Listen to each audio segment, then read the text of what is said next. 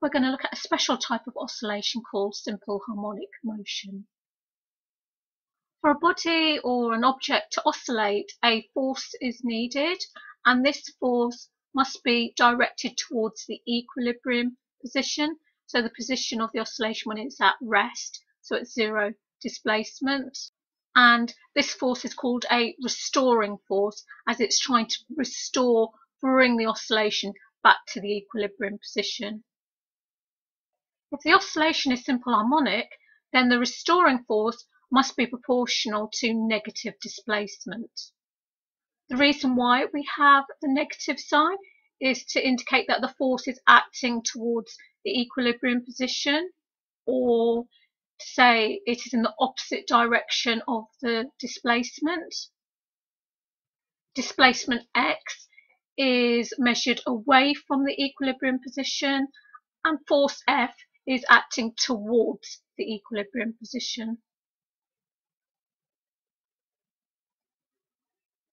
So we know F equals ma, so if force is directly proportional to negative displacement and force is directly proportional to acceleration, then acceleration must be proportional to negative displacement.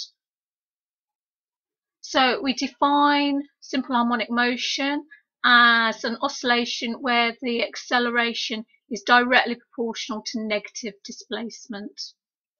To get this into an equation, we need to introduce a constant, proportionality constant, and in this case it's the angular frequency squared. So A will equal minus angular frequency squared times the displacement. We know the angular frequency equals 2 pi f, so this becomes the equation for simple harmonic motion for the restoring acceleration.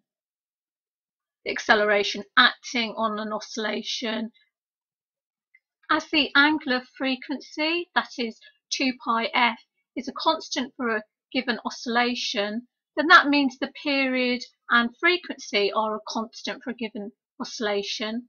And so period and frequency are independent of the amplitude of the oscillation. If we were to double the amplitude, then the average acceleration would double.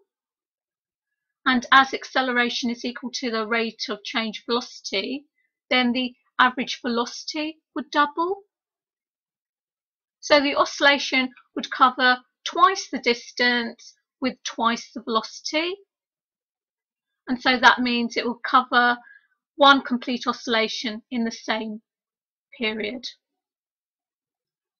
If we was to plot a graph of the acceleration against the displacement, we'd get a straight line through the origin but with a negative gradient.